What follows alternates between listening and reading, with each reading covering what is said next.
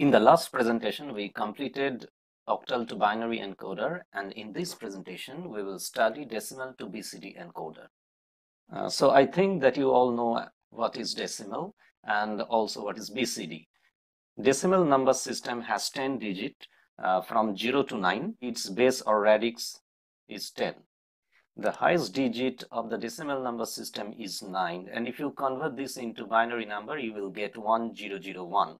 That's mean 9 is represented in 4 bits. So all the number less than 9 are also to be represented in 4 bits. Look, 0 is represented as 0000, 0, 0, 0. 1 is represented as 0, 0, 0, 0001 and so on.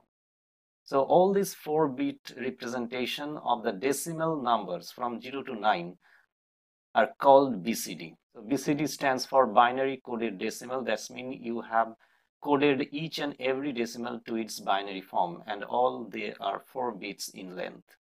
So here you have to design an encoder circuit where each and every decimal digit will be converted to the corresponding BCD. This is your decimal to BCD encoder. So this encoder circuit has a 10 input. So just level all 10 inputs as I0, I1 to I9 and it has a four outputs B0, B1, B2 and B3.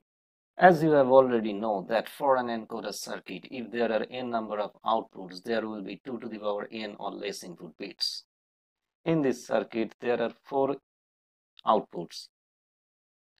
So there will be 2 to the power 4, 16 or less input bits. So we do not require all 16 bits because the decimal number has only uh, 0 to 9 inputs. So we require only the first 10 inputs and ignore rest of the inputs. Now let's take an example. Uh, 29 in decimal number, you have to convert it into BCD. So what you have to do, you have to convert each and every digit of the decimal number to the corresponding BCD.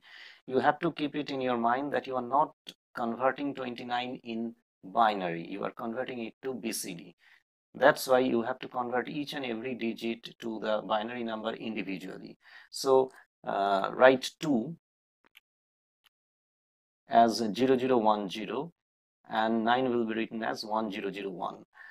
You can verify in the truth table that 2 is written as 0010 and 9 is written as 1001.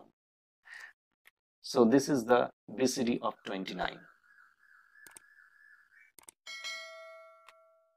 Now let's derive the Boolean expression for the output B0, B1, B2, B3. For an encoder circuit, any one of the input will become high and for that high input you will get the corresponding binary combination of output. So let's start with the B3 output first. So in the truth table, follow the B3 column, only the last two rows are high. That's mean for input 8 and 9, B3 is becoming high. So what we will write? B3 equal to I8 or I9. That's mean if any one of the input I8 or I9, since this is an input, so I'm writing it as I input. So if any one of the input 8 or 9 becomes high, B3 will become high. Now for the second uh, output B2, look in the B2 column, uh, for input 4, 5, 6 and 7, B2 is I. So you have to write like this, B2 equal to I4 or I5 or I6 or I7. Now for B1, look at the two yellow boxes. So for the input 2, 3, 6 and 7, B1 is high. So just write like this, B1 equal to I2 or I3 or I6 or I7. And the last output B0 for the odd number of inputs 1 3 5 7 and 9 b0 is becoming 1 that's mean you have to write b0 equal to i1 or i3 or i5 or i7 or i9 so these are my four boolean expression. Let's draw the logic diagram with this four boolean expression. So first of all you have to draw all the input lines from i0 to i9 just like this from right to left.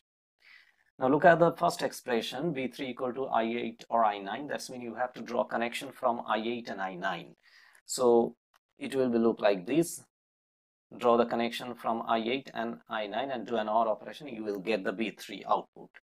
In the second expression, it is written I4 or I5, I6 or I7.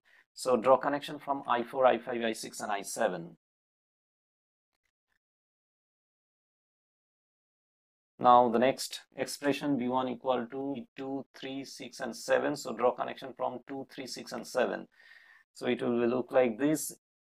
Draw connection from 2, 3, 6 and 7 and do the OR operation you will get B1 and for the last output B0 uh, draw connection from the odd number of inputs so that's mean draw connection from I1 I3, I5, I7 and I9 and you will get B0 output. So this is the logic diagram of decimal to BCD encoder. Now you can check it with the truth table.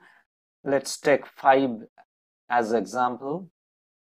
Suppose the input I5 is high and there are two connections drawn from this line that is here and here and so the B2 output and B0 output will become 1 and the other two output B3 and B1 will be in the 0 state.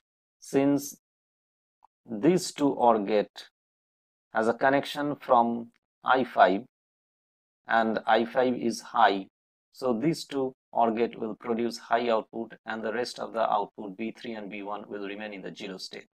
So you will get 0101 which is the binary equivalent of 5 or you can say this is the BCD of 50101. Subscribe to my channel online technical mentor and press the bell icon for latest update. Thank you.